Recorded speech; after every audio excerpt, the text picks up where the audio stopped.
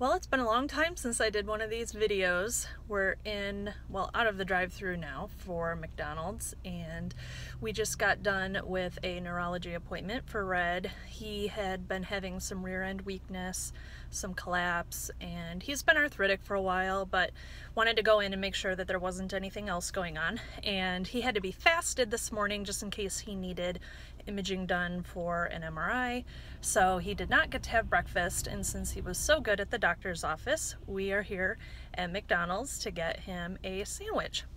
I disabled comments on my last video that we did years back after a uh, obedience trial. Every time he would earn an obedience title, I would swing into McDonald's and get him a hamburger. People threw a huge fit that I was poisoning my dog.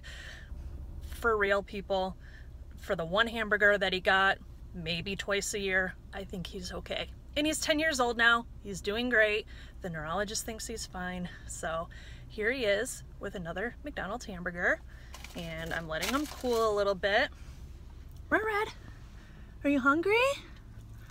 He's sitting in the very back now because as you can see, I have a car seat here. It's not very much room for him in the back seat anymore. Look at that. Oh yes. He's hungry.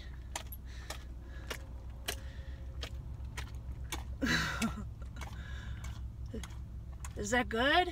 Is a good hamburger? Yeah? Fill your hungry belly? I have one more. You want another one? Oh, that's a good boy.